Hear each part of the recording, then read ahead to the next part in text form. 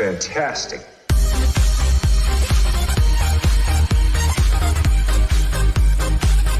Was geht ab, meine lieben Löwen da draußen und seid recht herzlich willkommen zu einem neuen Video auf meinem Kanal. Schön, dass ihr wieder eingeschaltet habt und heute wird es zum ersten Mal auf meinem Kanal ein Uncut-Video geben.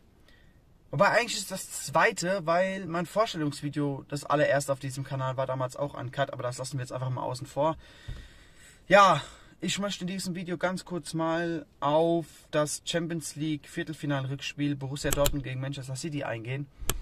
Ähm, und für alle, die meine Ansagen-Videos und diese Statement-Videos schon immer verfolgt haben, wissen, dass ich solche Videos eigentlich nur mache, wenn wieder irgendwas vorgefallen ist, was mich wirklich auf die Palme gebracht hat, oder wenn meine Mannschaft mal wieder unterirdisch schlecht gespielt hat. Und das war diesmal der Fall. Deswegen sitze ich auch überraschenderweise hier. Ähm, also es ist, es ist halt echt geil. Also vorab erstmal, die ersten 15 Minuten waren wieder Top-Fußball. Da gibt's wirklich nichts gegen einzuwenden. Was ich halt echt nicht verstehe, ja, wir gehen 1 zu 0 in Führung. Und sobald wir 1 zu 0 in Führung sind, warum, liebe Spieler, warum Borussia Dortmund? Warum? Ich verstehe es nicht. Das ist schon das 100. Spiel das gleiche. Das 100.000. Spiel das gleiche. Ey, wir spielen so geil Fußball. Und wenn wir mal wirklich in Führung gehen, wenn wir mal wirklich in Führung gehen, es ist immer, dass wir versuchen, diese Führung wollen zu verteidigen. Immer.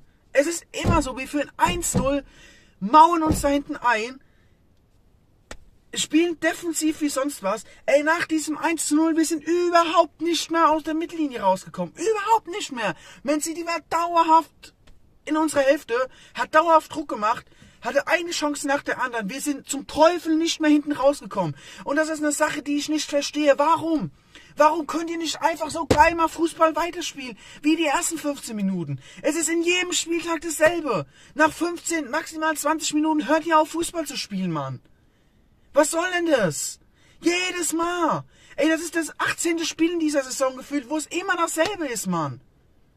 Spiel doch mal weiter Fußball, wenn ihr führt. Geh doch mal auf ein zweites Tor. Mach doch mal weiter Druck. Sei doch mal weiter aggressiv, Mann. Man meint, ihr habt nur 15 Minuten Ausdauer und könnt danach kein Fußball mehr spielen. Was soll denn das? Es ist jeder Spieltag das Gleiche. Wenn es jetzt einmal wäre, okay. Aber mal ernsthaft, das muss euch doch mal selber auffallen. Es ist jeden Spieltag dasselbe, Mann. Ey, ihr seid nicht mehr rausgekommen. Jetzt City hat einen Torschuss nach dem anderen abgegeben. Ich war so froh, als dann Halbzeit war, weil ich fest damit gerechnet habe, es gibt noch das 1 zu 1. Da hatten wir nochmal Glück im Unglück, dass es nicht das 1 zu 1 gefallen ist. Aber, ey, das kann doch nicht sein. Ich verstehe es nicht.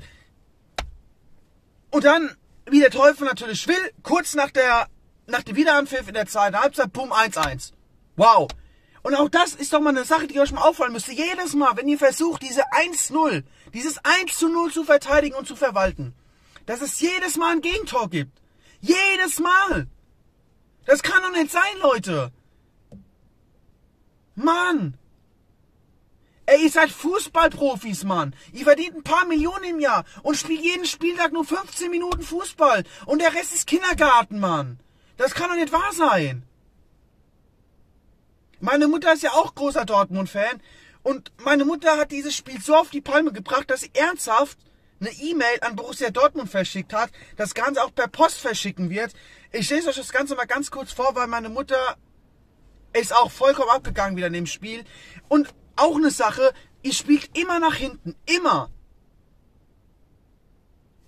Als wir dann da zurückgelegen haben beim 1-1 oder auch als wir zurückgelegen haben. Warum spielt ihr nach hinten, Mann? Ey, wir müssen dieses Spiel gewinnen. Wir liegen 2-1 zurück. Was macht Borussia Dortmund? Spielt hinten rum. Jedes Mal dieses, dieses Aufbauspiel hinten über den Tormann. Ey, ich versteh's nicht, Mann. Man kann mal mehr als 20 Minuten Fußball spielen. Meistens ist es egal, ob wir führen oder zurücklegen. Die ersten 15 Minuten sind geil und der Rest ist kompletter Kacke, Mann.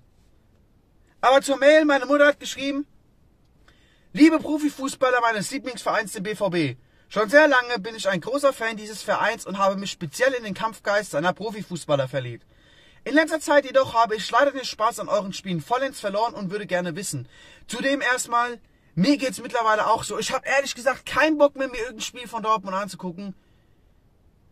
Champions League habe ich jetzt noch gemacht, weil wir Champions League irgendwie im Hinspiel waren wir wirklich mal gut. Im Hinspiel waren wir wirklich mal top. Und, äh, ne, aber Ligaspiel, ich weiß nicht, ob ich noch ein Spiel die Saison gucken werde, weil es echt jedes Bundesligaspiel dasselbe ist und mir das mittlerweile auch so auf die Nerven geht. Und ich mittlerweile echt schon eine richtige Wut äh, habe auf diese Spielweise. Das kann echt nicht wahr sein. Was ist denn bitte mit euch los? Wo ist euer Kampfgeist geblieben? Könnt ihr tatsächlich nur maximal 15 bis 20 Minuten super tollen Fußball spielen? Zieht euch dann in die eigene Hälfte zurück und bekleidet euren Gegner nur noch? Dies können sie sich dann leider nach Lust und Laune die Bälle zuspielen und ihr lasst sie bis vors Tor laufen. Meistens geht das nicht gut, was euch eigentlich auch schon aufgefallen sein müsste. Hoffe ich jedenfalls. Und wie plötzlich sind die Gegentore da? Wie komisch. Oh, wenn man nicht mehr angreift, kriegt man Gegentore. Hm. Ist es jetzt seit einem Spieltag so? Hm, nee. Aber es ist ganz komisch. Wenn man die Gegner nicht angreift, fallen Gegentore. Hm. Macht das dann vielleicht Sinn, um keine Gegentore zu kriegen, vielleicht auch mal mehr als 15 oder 20 Minuten Fußball zu spielen, vielleicht auch den Gegner mal nach 15 bis 20 Minuten noch zu attackieren und anzugreifen und nicht Komm, soll ich dir Begleitschutz geben? Hier, komm, ich äh, begleite dich mal bis zum Tor. Ey, das ist doch hirnrissig, ganz ehrlich. Ey, langsam macht man sich echt schlachhaft über euch. Ja, äh, und plötzlich sind die Gegentore da, wie komisch. Was bitte ist das für eine Taktik? Was ist das für eine Taktik? Eigentlich müsstet ihr langsam einmal wissen, dass ihr mit dieser Spielweise nicht mehr weiterkommt, immer mehr Spiele verliert in der Tabelle, immer weiter nach unten rutscht. Warum bitte versucht ihr denn nicht noch den Gegner nach 20 Minuten zu stören, zu bedrängen und den Ball zu erkämpfen? Eigentlich dachte ich immer auch, ihr wollt in der Tabelle weiter nach oben kommen, auch im nächsten Jahr wieder international spielen und nicht von den anderen Mannschaften belächelt zu werden. Und das ist halt mittlerweile auch echt eine Sache, weil ich habe ja auch viele andere Fans, sei es Frankfurt, sei es Bayern, sei es sogar S04, irgendwas. Gut, S04 hat gerade am wenigsten irgendwie Grund zu lachen, die steigen in die zweite Liga ab. Aber ich denke, ihr wisst, was ich meine. Ich habe so viele Kollegen, Freunde, Familienmitglieder, die jetzt nicht unbedingt Borussia Dortmund-Fans sind, die sich einfach so komplett lächerlich über uns machen. Und mir ist es so verdammt unangenehm. Auch von den Frankfurt-Fans nach der Niederlage da gegen Frankfurt. Hier, sieben Punkte, sieben Punkte, ihr wollt Champions League, ja, kommt keine Champions League. So, dass wir da von, von anderen Vereinen und von deren Fans einfach belächelt und, und niedergemacht werden, das ist mir einfach so unangenehm. A, weil ich nichts dafür kann und B, weil wir eigentlich ja, die zweitbeste Mannschaft Deutschlands sind und diese Leistung einfach überhaupt nicht respektabel ist. Da gibt es auch nichts zum Gutreden oder irgendwas. Das ist eine scheiß Leistung und das kann man nicht entschuldigen. Das ist einfach so. Man kann mal ein Spiel schlecht sein. Ja, Bayern München verliert auch mal oder spielt auch nur Unentschieden gegen Bielefeld oder verliert auch mal gegen Hoffenheim und was weiß ich. ist alles schön und gut. Ja, aber da stimmt der Kampfgeist, da stimmt die Spieler miteinander, die spielen zusammen. Und bei Dortmund habe ich einfach das Gefühl, es passt diese komplette Mannschaft nicht zusammen. Es passt einfach diese komplette Chemie.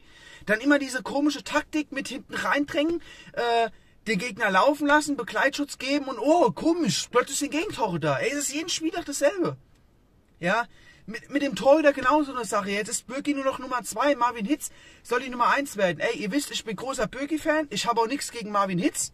Ja, aber ganz ehrlich, Marvin Hitz ist niemals besser als Roman Böcki, im Leben nicht.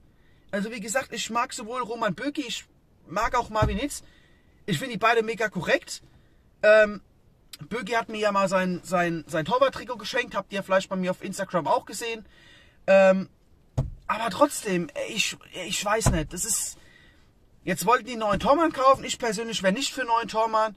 Ähm, ich würde bei, bei Hitz und Böcki bleiben. Klar sind beide nicht mal manchmal relativ sicher. Aber ich finde, man sollte erstmal an die Defensive gehen, anstatt am, am Tormann zu arbeiten, weil ich finde, unsere Defensive macht auch teilweise einen schlechten Job, muss man einfach so sagen, wenn man da wieder äh, im Hinspiel dieses zweite Tor da kurz vor Schluss, oder was das zweite Tor? Also das Tor da auf jeden Fall kurz vor Schluss da wieder gesehen hat, wie Munier da hinten wieder rumgekaspert ist. Ähm, ja, da kann der Tormann auch nicht viel machen. Also erstmal sollte man die Defensive erstmal vielleicht ein bisschen ordnen, bevor man an Tormann angreift. Ähm, aber mittlerweile, ich, mir fehlen auch langsam echt die Worte. Bitte denkt über meine Zeilen nach, rafft euch endlich auf und zeigt den anderen Vereinen, dass, dass sie wieder anfangen sollten, vor euch zu zittern. Denn Angst und Respekt vor dem BVB hat leider kaum noch einer. Ich denke, ihr alle werdet für euren Job sehr gut bezahlt und solltet das auch durch eine entsprechende Leistung wieder an euren Arbeitgeber und an eure Fans zurückgeben. Zusammenraufen, aufstehen und kämpfen, Jungs. Ja, das Einzige, was ich dazu noch sagen will, wenn ich auf der Arbeit so arbeiten würde, wie die Fußball spielen, ey, dann könnte ich mir jeden Tag eine neue Arbeit suchen. Das ist, das ist teilweise echt Arbeitsverweigerung. Wie gesagt, es kann jeder mal einen schlechten Tag haben, es kann immer mal einen schlechten Spieltag geben oder irgendwas. Das ist bei den besten Mannschaften der Welt so, das ist bei Bayern München so, die verlieren auch mal da gegen Aufsteiger aus der zweiten Liga oder unentschieden meinetwegen. Ist alles schön und gut, das äh, kann passieren. Aber bei Dortmund ist es mittlerweile einfach too much, ja. Es ist mittlerweile einfach too much. Wir haben da gegen Stuttgart wieder mehr Glück als Verstand gehabt, kriegen zwei Gegentore gegen den, gewinnen wir dieses Spiel wieder irgendwie. Es ist einfach mittlerweile diese Leistung nicht mehr zu entschuldigen, ja. Und für das Geld, was die verdienen, ist es einfach Arbeitsverweigerung. Und wenn irgendeiner von uns, die einen normalen Job haben, so arbeiten würden, wir könnten jeden Tag zum Arbeitsamt rennen und uns einen neuen Job suchen. Das ist halt das, was mich bei der Sache momentan ein bisschen aufregt. Und das Geilste ist, ja, ihr heult alle rum, ihr wollt Champions League spielen und kein Bock darauf, auf Euroleague, ja.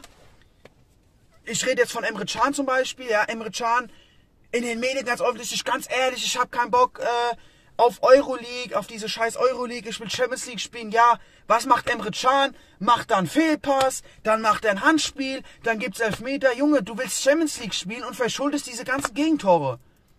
Und dann beschwerst du dich, dass du Champions League spielen willst. Ey, Emre, ey, ich, ich mag dich echt gerne. Ich mag dich wirklich gerne. Du bist einer meiner Lieblingsspieler beim BVB. Du bist offensiv mega gut. Du bist immer torgefährlich. Ne? Aber Gegentore verschuldest du halt einfach auch zu viele. Sei es jetzt durch Elfmeter, wie jetzt auch wieder im Rückspiel, sei es durch irgendwelche Fehlpässe oder irgendwas. Ja, wenn das halt alles nicht wäre, dann müssten wir uns keine Gedanken machen. Der Elfmeter, gut, ich habe jetzt wieder in den Medien gelesen, ah, lachhafter Elfmeter, Videoschiedsrichter muss da eingreifen, weil er vom Kopf an Arm springt. Ich als Dortmund-Fan, ganz ehrlich, ich nehme nicht Dortmund immer nur in Schutz wie im letzten Video, sondern ich nehme auch manchmal die Fanbrille ab und sage das, was meine ehrliche Meinung ist. Und ich sage mit ehrlicher Meinung, man kann diesen Elfmeter geben. Weil er hat mit dem Arm acht Kilometer da draußen nichts verloren. Ja, wenn er köpfen will, muss er die Hand dann nicht hinmachen. Gut, manchmal passiert es aus Reflex. Er ist vollkommen okay. Aber es ist jetzt für mich eine 50-50 Chance. Wenn der Schiri pfeift, pfeift er es. Wenn der Schiri nicht pfeift, pfeift er nicht. Ähm, ist für mich eine 50-50 Sache. Klar ist es unglücklich, dass er das Ganze gepfiffen hat. Klar, die Szene aus dem Hinspiel, wo der den Bellingham da die Sache abpfeift, ist für mich ein ganz klarer Skandal. Da brauchen wir nicht weiter drüber reden. Da bin ich im letzten Video drauf eingegangen, dass es ein absoluter Skandal war, dass der Schiedsrichter aus meiner Sicht dafür auch gesperrt gehört. Aber bei diesem Handspiel jetzt in dem Rückspiel, finde ich, kann man geben. Was ist dazu eure Meinung? Schreibt es in die Kommentare. Ähm, aber selbst ob es den Elfmeter jetzt gegeben hätte oder nicht, scheißegal, wir wären trotzdem nicht weiter gewesen. Uns hätte trotzdem ein Tor gefehlt, weil ein Unentschieden hätte uns auch nicht gereicht. Und jetzt wieder zu sagen, ah, dieser Elfmeter hat wieder das ganze Spiel genommen, Bullshit, weil uns trotzdem ein Tor gefehlt hat. Ja, natürlich kann man dann sagen, ob es dann da jetzt unentschieden steht oder ob wir zurückliegen, ist, ist für die Moral der Mannschaft natürlich nochmal anders, mag sein. Aber wie gesagt, wir haben eh nach der 15 Minuten nur noch hinten rumgespielt und überhaupt nicht mehr angegriffen. Also ob es dann 1-1 gestanden hätte oder 2-1, macht aus meiner Sicht keinen Unterschied, weil wir eh gurkenhaft dann gespielt haben, die Bälle noch hinten hergeschoben haben und von daher macht das für mich jetzt ehrlich gesagt keinen Unterschied. Keine Ahnung, ob ihr das anders seht. Äh, ich wollte dieses Statement auf jeden Fall kurz mitteilen. Ich werde auch dieses Video auf jeden Fall meiner Mutter zukommen lassen, dass sie dieses Video inklusive dieser Mail an Borussia Dortmund schickt. Ähm, ich werde zwar eh 100 Euro, dass es sich keiner durchlesen wird oder keiner anhören wird. Ein Versuch ist es wert. Ich bezweifle zwar, dass die Mannschaft deswegen dann anders spielt, nur weil da jetzt einer kommt und ein Video macht, wobei ich bin nicht der Einzige, es gibt ja viele. Aber das wäre komisch, wenn durch dieses Video auf einmal die Mannschaft dann anders spielen würde. Ja, wie gesagt, das ist meine Sache dazu. Liga, keine Ahnung, ob ich mir noch ein Spiel angucke, wie gesagt. Champions League war es eh, DFB-Pokal, gut. Bezweifle ich aber auch, dass wir den gewinnen, sage ich euch ganz ehrlich. Ich bezweifle momentan auch, dass wir Euroleague schaffen, sage ich euch auch ganz ehrlich. Keine Ahnung. Das ist halt so eine Sache, die ich nicht verstehen kann. Wenn ihr dazu eine Erklärung habt, schreibt es mir in die Kommentare. Ich in dem Sinne würde sagen, das war's mit dem Video.